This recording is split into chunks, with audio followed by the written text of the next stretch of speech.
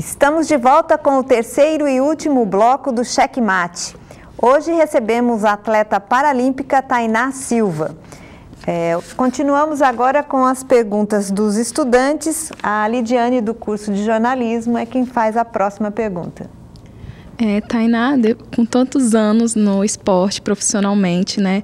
Quais são os pontos positivos e negativos para você de estar no esporte? Os pontos positivos. Eu acho assim que você tem que ter muita força de vontade,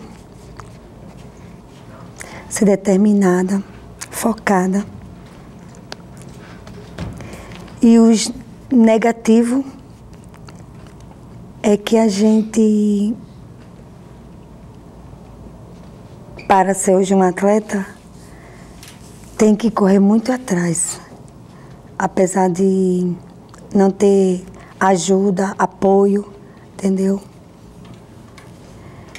E aí é isso que eu digo. Ser uma pessoa determinada, focada. Como é que eu digo para você? É, humilde a humildade leva você em qualquer lugar, entendeu? E respeitar o próximo. Correr atrás do seu sonho. Não é que você passa pelas várias coisas, várias barreiras e baixar a cabeça. Então, eu acho que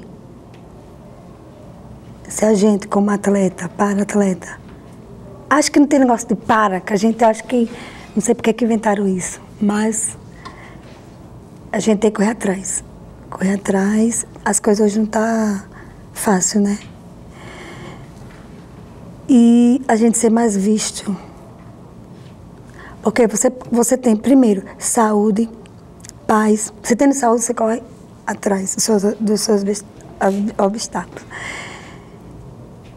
E tantas pessoas que têm isso e não faz isso. Então, eu tiro um exemplo por mim. Que cada dia eu quero mais. Eu não, eu não. Vou dar um exemplo. Minha melhor marca era 79 quilos. Hoje, no último evento que eu fui agora, eu fiz com 83 quilos. Então, gente, eu não penso ficar com 83, eu quero 90, 100, 110. Então, assim, é difícil, é, mas você tem que correr atrás. Não é porque hoje eu não tenho 10 reais na minha carteira para me pagar a minha passagem de comparação. Eu vou ficar em casa? Eu vou a pé, uma hora e meia. Eu vou correr atrás. Porque hoje é tudo difícil. E se você não correr atrás, você não consegue nada nesse mundo.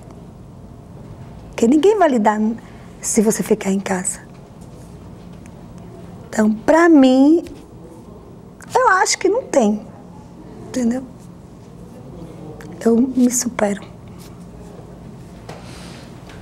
Que bom, né? Mais uma pergunta dos estudantes da UFRN, agora é a vez da Bárbara Freire, é, do curso de Rádio e TV. Que dica, assim, você daria para quem está pensando em iniciar no esporte como uma forma profissional? Primeiro, eu, eu acho que muitas pessoas não, não, fre, não frequentam esporte porque acha que não existe. Que eu não jamais sabia que tinha algum esporte para essa deficiência que eu tenho, né, que é de ananismo. Então, tem gente que tem vergonha de sair de casa. E hoje, graças a Deus, a, a, teve os Jogos de 2017 lá no Rio, né? E muita gente conhece. Então, assim, em primeiro lugar, você tem que ter muita saúde. Segundo, força de vontade, que a gente tem saúde e força de vontade a gente conquista o que a gente quer. Mas tem que ter mesmo. E foco. E levanta a cabeça e vá atrás dos seus sonhos. Porque nem imaginava eu, hoje, ser é, uma das melhores atletas do Rio Grande do Norte sendo lá do interior, lá de São Antônio Salto da Onça, entendeu? Com 26 anos entrei no esporte. Vai fazer sete anos que eu estou no esporte, então eu tive muito resultado rápido. Rápido porque eu corri atrás. Porque, e assim, eu quero que alguém veja e se inspire. Não, vou ser igual aquela menina. Porque assim é difícil, não é todo mundo que quer. E assim eu vejo cadeirante vou nada, vou levantar peso. Eu tenho natação, tenho um disco, arremesso. Então, assim, eu acho que, que você tem que sair de casa e tem que pensar, ai não, que as pessoas veem hoje eu na rua, pronto, eu toda bombadinha. Tem gente que catuca seu marido no Natal Shop, ai, a Anãzinha. Eu hoje não ligo mais. Pode me chamar de anã, de pequeno, com respeito, entendeu? Mas assim, eu acho que as pessoas têm que sair, a mãe que tem um filho especial, que hoje tem esporte para tudo, entendeu? Leve seu filho, porque a criança vai ter outro, outra cabeça. Digo por mim, eu não me aceitava de jeito nenhum. Eu vim depois me aceitar quando eu cheguei dos Estados Unidos. Porta as pequenininhas, tudo, eu era toda assim, fresquinha. Hoje eu me amo, eu vejo uma pessoa, eu ajudo, eu converso, eu chamo o esporte. Eu conheço uma menina que trabalha no Instituto de Radiologia. Ela é menorzinha, pouquinha coisa do que eu. Eu, toda a vida que eu vou lá, eu perco essa menina para ela entrar no esporte. Mas é isso que eu passo para todos, que procuram esporte, quiser na minha associação, SADEF-RN, ainda estou lá. E por falar em SADEF, né, eu queria que você falasse, contasse para a gente o que é a SADEF, como é o trabalho que eles, vocês desenvolvem lá. A SADEF é o meu clube que foi daí que eu fui fazer a visita e me inscrevi e até estou hoje lá. Então, assim, a gente é inscrito pela SADEF. A SADEF, graças a Deus, hoje é, tem patrocínio, a gente tem um. é no CAIC. E hoje a gente tem fisioterapeuta lá, a gente tem psicólogo, que antes não tinha. Quando eu entrei na SADEF, a SADEF era falida, gente. Então é isso que eu, falei para vocês, que eu queria desistir do esporte, porque todo dinheiro que eu pegava era para suplemento e passagem. E a SADEF. Então hoje a gente tem o nosso presidente, Técio Tinoco, que é um cadeirante. Então, assim, a nossa associação está 100%. E a sede lá no CAI, como eu falei para você, né? E para mim, é minha casa, é, é minha família. Entendeu? E foi aonde eu fui procurar o esporte, que foi na associação, né? E hoje, graças a Deus, é, ela acolhe muitos é, para atleta. Tem até agora fizeram um, uma parceria aqui com o pessoal da, da Esterbon, entendeu? E a gente hoje tem mais patrocínio, mas é muito custo, entendeu? Muito gasto. É o pessoal da natação, é o pessoal do atletismo, é o pessoal do alterofilismo, é muita gente. Eles não podem fazer mais pela gente por causa disso. Mas a SADEF é minha família. A SADEF hoje, aonde eu me encontrei, né? Me achei, como eu digo. Certo. Ah, agora é a vez da Érica Cabral, do curso de jornalismo, fazer mais uma pergunta. Então, ao longo desse seu tempo no esporte, qual o momento mais marcante que você vivenciou? E tem tantos. Mas o momento mais marcante foi em 2014, que a gente passou um tempo sem treinador. E eu treinava meu dia lá no Caique. E era outro atleta que treinava a gente, porque tiraram o nosso professor, que é Carlos Oilha, né, que é o meu treinador hoje da seleção. E a gente ficou treinando com atleta. Atleta ajudando, diga aí, a mulher com 60, 80, o pessoal colocando outro atleta, vendo na hora escapar aquela barra e machucar, né? E eu tive um desafio. passou quase um treinando sem, sem treinador. Aí falaram assim, Tainá, você tem que melhorar um quilo na barra para você ir para o México. E eu saía, eu vendia meus batons, minhas coisas, e saía direto para o Tinha dia, gente, que eu tinha na minha mochila. Eu era atleta, mas eu não era tão dedicada como hoje. Com duas pedras de batata doce. Eu comia aquilo, tomava uma garrafa d'água, me tremia todinha. Mas eu dizia para mim que eu tinha que vencer aquela barra. E o outro lá, um menino, entregando aquele peso. Teve um dia que ele botou 100 quilos. Meus músculos faziam estralava, traco. E eu morrendo com 100 quilos. Meu Deus, só quente da moléstia. Nem ar-condicionado tinha na sala, na academia. E treinei, treinei, treinei. Quando chegou lá em Recife, na competição no brasileiro, eu precisava de melhorar um quilo na barra. Eu pesava 50 quilos e levantei 71. Eu garanti a minha marca para mim e para o México. Então isso para mim foi marcante, foi, porque foi um desafio.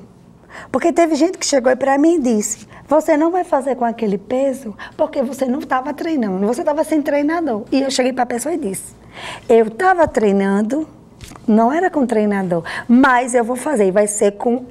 A minha primeira prova vai ser com essa marca aqui. E pronto, consegui, primeiro lugar, o ouro, lá em Recife, e consegui a convocação para ir para o México. Então, lá no México foi mais vitória ainda. Passei uma semana treinando e lá no México eu fiquei em primeiro e terceiro em geral. Eu tive duas medalhas. Então foi daí, do México, foi, foi. E graças a Deus a minha vida foi subindo aos pouquinhos. Mas assim, eu acho que tudo é, é marcante.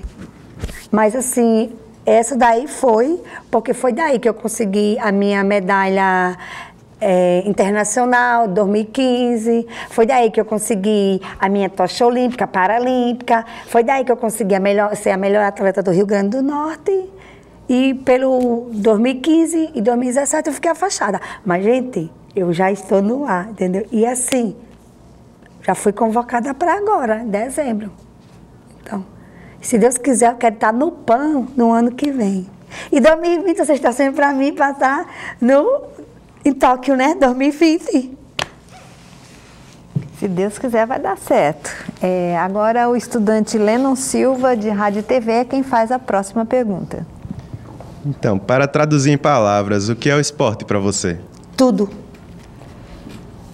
É superação, é tudo. O esporte para mim hoje é tudo. Sem esporte eu acho que eu não sou ninguém. É, Tainá, é, eu queria saber quais são os seus planos a médio e longo prazo assim para o futuro e o que, que é essa medalha que você trouxe aí? Vou falar primeiro os planos, né? O meu plano para o futuro é treinar mais e mais, né? Em primeiro lugar, ter saúde, né? Porque sem saúde ninguém consegue nada. Então, e focar mais nos meus treinos, porque eu quero estar em Tóquio, gente. Vocês estão sendo por mim. E assim, você falou da medalha, né? Essa medalha linda, ó, aqui, ó, é a minha medalha que eu consegui a minha convocação. Não divulguei nada ainda, né? Que eu estou aguardando. Para mim ir para a Colômbia. Então, a Colômbia é uma competição muito importante. Então, quem passou dois anos afastada, aqui ó, o ouro. Eu estou entre, as entre as 10 no ranking, na categoria de 45, e viajo dia 3 de dezembro. Eu quero que vocês torcem por mim, viu? Minha competição é dia 6 de dezembro. Então, é linda, né? Muito bonita e o seu trabalho também é a gente vê a dedicação, o empenho, né? principalmente porque a gente sabe que aqui no Brasil é, a questão do patrocínio e do apoio uh, deixam muito a desejar. Né? Eu quero aproveitar já para agradecer a sua presença aqui no Checkmate, né? É, e dizer que a gente gostou muito dessa conversa com você, né? de conhecer um pouco essa luta né, do paratleta aqui no Brasil e reconhecer que no Rio Grande do Norte a gente tem uma, uma atleta né, que nos representa no exterior e no, e no mundo né, nessa modalidade. Então, muito obrigado pela sua presença. Agradeço a todos vocês ter me convidado, né? Assim, a conhecer um pouco a minha história, entendeu? Agradeço mesmo. Espero que, se precisar, a atleta tá aqui, né? Pra... Deixa eu voltar com o ouro, viu? é, é... Só tenho que agradecer a todos. E muito obrigada mesmo. Nós é que agradecemos. É, o checkmate de hoje está chegando ao fim. Eu quero agradecer mais uma vez a Tainá pela participação. Aproveito para agradecer também aos estudantes de comunicação social da UFRN pela colaboração no programa de hoje. E você de casa pode continuar conectado com a gente pelas redes sociais. Lá você confere esta e outras entrevistas e pode fazer sugestões para os próximos programas. Então curta e compartilhe a fanpage do Checkmate no Facebook. Nós também estamos no canal da TVU no YouTube. Não deixe de acessar. Até o nosso próximo encontro. Tchau!